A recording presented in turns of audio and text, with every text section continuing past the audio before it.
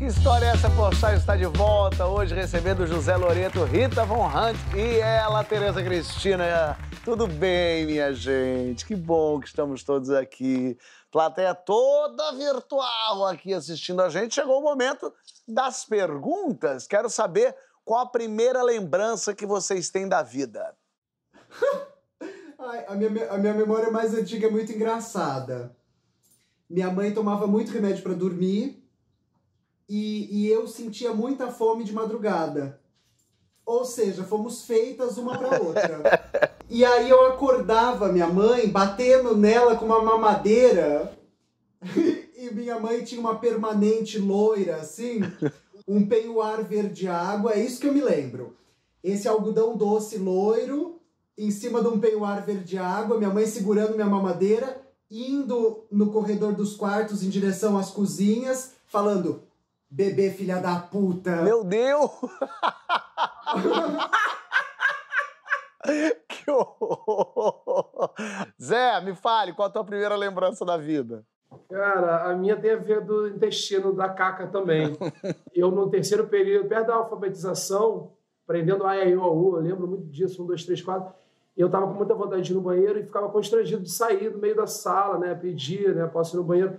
Aí comecei a suar frio, não sei o quê. Na hora que eu decidi sair, eu me liberei dentro da calça, dentro da roupa. Meu Deus, vergonha. Aí o que, que eu fiz? Eu fui muito sagaz. Eu tinha uma maçã, eu dei uma mordida na maçã, joguei no chão e falei, um rato. Aí começou uma gritaria. Ah! Aí a professora me tirou e aí eu revelei para ela no, com os olhos que eu tava cagadinho, ela me limpou e tal. Tadinho. Então eu consegui já menti desde a primeira cagada. Bonitinho. Tereza.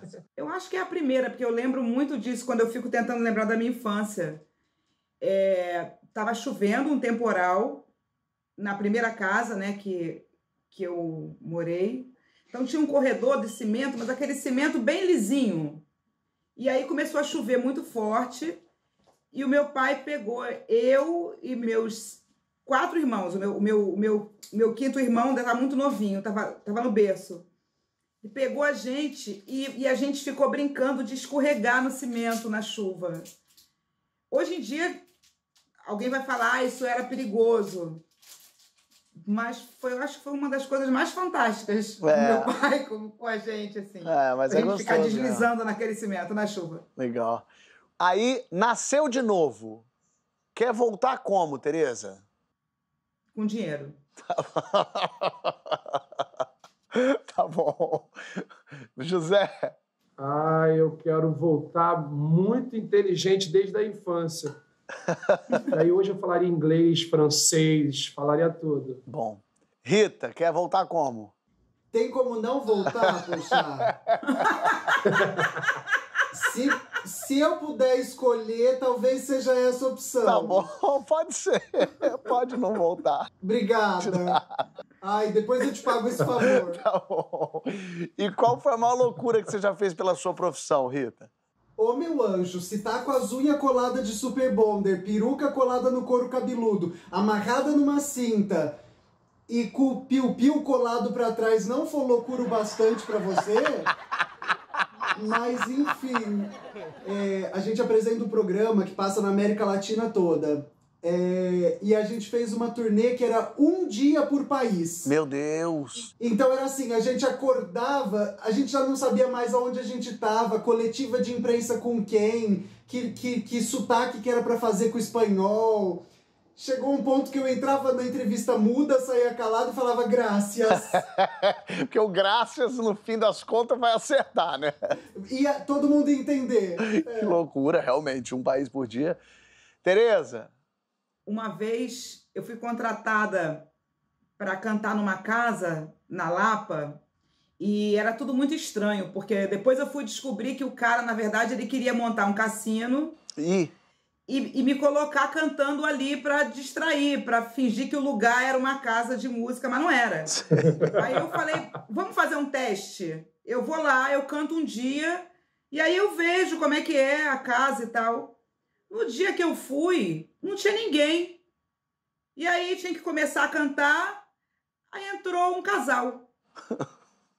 E aí eu fiquei fazendo show para esse casal. E eu fiquei, meu Deus do céu, esse casal não pode brigar. Porque se eles brigarem, eles vão sair. E eles começaram meio. Tava numa situação meio estranha, não sei se era mãe, eu não sei. Eu sei que começaram meio a se estranhar e eu mudei o meu repertório. Eu só cantei música romântica, de tipo, meu primeiro amor, eu vi você, vem cá, me dá um beijo. Eu comecei a mudar o repertório para aquele casal não brigar, porque se eles brigassem seria horrível, cara. Passar a noite ali. É, não sei que você está brigado, tinha que comentar. Entre tapas e beijos, é ódio, é desejo, é sonho, é ternura. Já dá uma. José Loreto, qual foi a maior loucura que você fez pela sua profissão? Cara, eu não fui, fiz muitas loucuras, não, mas eu lembro de meu primeiro teste para televisão, quando eu voltei de Hollywood e tal, e comecei a estudar na Cal, no qual você era um, dos veteranos que eu já admirava, Muito obrigado. Fábio Porchat. E aí eu lembro que eu fiz teste para Malhação, irarará, e aí ia ter uma entrevista com o Ricardo Odton, né, que era o diretor de núcleo na época, que existia isso. E aí eu, eu falei, pô, uma entrevista Aí eu escrevi cinco páginas de tudo, sabe aquele estudante de teatro? Aí eu li Stanislavski, eu não sei, Eugênio Barba, eu não sei o quê, eu fiz isso, aquilo. As peças, eu decorei cinco páginas para eu falar para o cara. Eu achava que a entrevista eu ia decorar. Eu fui decorado para falar bem na entrevista, sabe? E aí chega na entrevista, travei, né? Ele, e aí, José, você quer fazer por quê? Ele, ah, eu, eu, eu, quero, porque eu, eu, vou fazer, eu vou me dedicar, sou dedicado. Falei que fui para dentro, né? E eram eu e outro, oito clones meus, tudo assim, era cabeludinho, era o mesmo perfil, sabe? Aquele moleque de 21 anos, assim, eu falei, ferrou, né? Fui reprovado. Reprovou. E ele me chamou para fazer. Ah, Não, passei. Passou, teste, passou. peguei. Tá bom, tá valeu, valeu. Qual foi seu primeiro crush famoso? Ó, esse na ponta da língua. Ah. O, eu, eu, lembro porque ele causa espanto. Foi o, foi o primeiro ator que fez o tropeço da família Adams o Ted Cassidy. ele, ele media 2 metros e 6 de altura. Porque eu sou assim, igual a Silvia Plath. Eu, eu divido os homens em mais de 1,80 e amigos. ah, entendi. E o rapaz da, da família Adams. Tá bonito, gostei. É, o tropeço. tropeço. José, qual foi seu primeiro crush famoso? Ah, eu nessa época aí, eu gost... eu, meu crush era a Aline Moraes, queria raberar o Cauã desde sempre. época de namorava, falava, que isso, essa menina coisa esquisita, né? Linda. Tereza? É, o Robert Smith, do The Cure. Olha só. Ah, meteu logo alto nível também. Nossa, tipo, eu, eu sonhava com Robert Smith. Eu... Acontece isso mesmo. E com quem que já não está mais entre nós que você gostaria de ter trabalhado, Tereza? Eu, Nelson Cavaquinho. Ah, bom. Nossa, sentar num botiquinho ali, ficar ali, ele tocando e ouvindo as histórias louquíssimas é. Queria muito. Rita. Para mim é difícil porque eu sou professora, sou drag queen, sou atriz.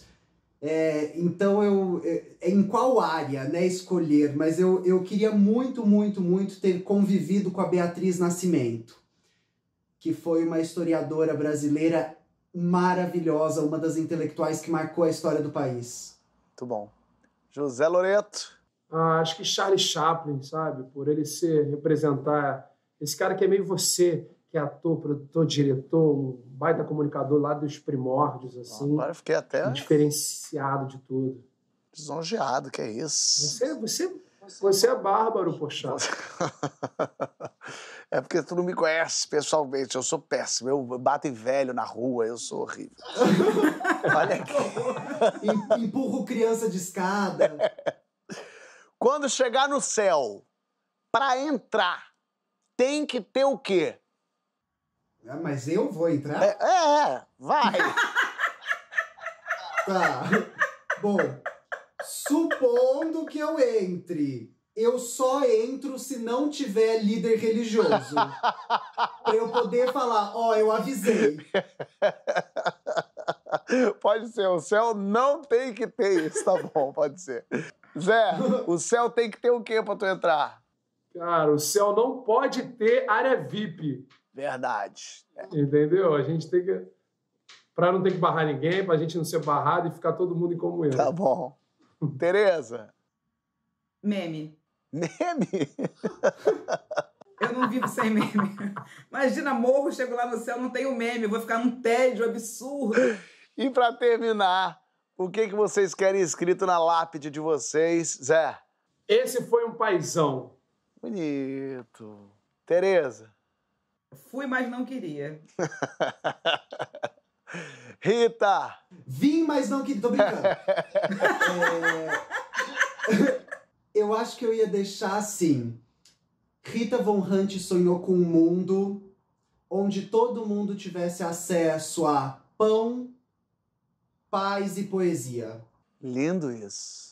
Gostei. Lindo. E eu tô feliz que eu tô no mundo que eu tenho acesso a vocês, meus convidados. Obrigado de verdade por vocês estarem aqui.